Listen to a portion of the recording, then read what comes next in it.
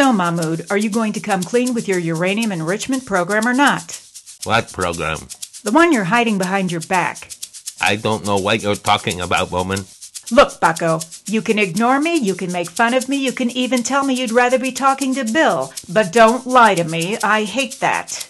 All right, I want to talk to President Clinton. That's it, Shorty. No more secretary nice guy. Tell me the truth about your nuclear weapons right now or else. Okay, okay, this is the truth. I did not have nuclear fission with that uranium.